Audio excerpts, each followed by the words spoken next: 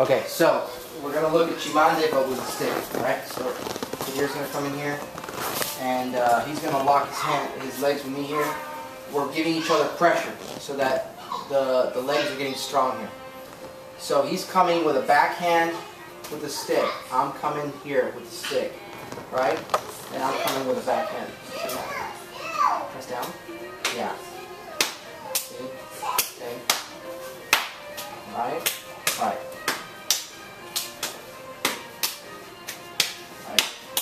Keep this strong. Down. Yep. There you go. You get caught up in your stick. Change the grip.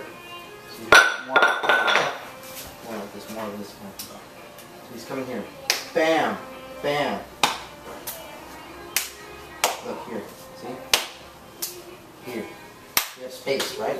See? Right. Right. Make space. There you go. Now, a lot of times you see guys do this. It's very light. It's like a patty cake, right? It's even lighter. It's like really light. Right? Yeah. Like, yeah. This is training nothing. Nothing.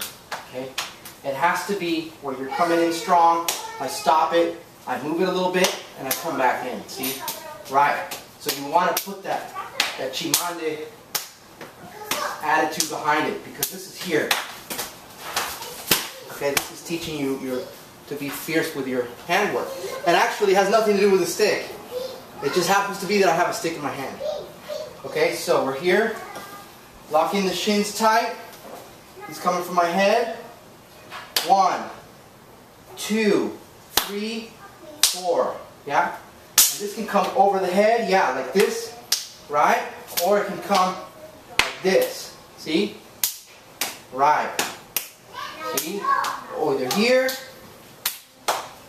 or here. Keep this strong, yeah? Good. Ah, there you go. And strong. Don't worry about speed. Keep it strong. See, you're going to get a whole workout in your whole arm. Okay? You work with him. You work with Kadir. Go ahead.